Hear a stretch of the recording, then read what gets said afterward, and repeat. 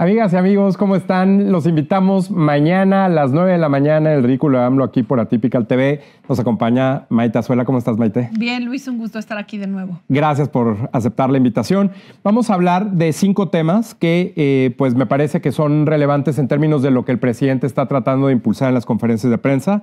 Vamos a hablar sobre el informe de personas desaparecidas, que ha sido todo un tema respecto del manejo de el- esa información de parte de este gobierno y obviamente del trato de las personas víctimas y familiares. Segundo, la reacción del presidente respecto del desfile de grupos del crimen organizado en Chiapas, las disputas que hay ahí. Tercero, la reacción a un artículo en una revista especializada donde se muestra el tamaño de las organizaciones criminales y el reclutamiento en comparación con empresas, eh, eh, pues una de las importantes fuentes de trabajo en México.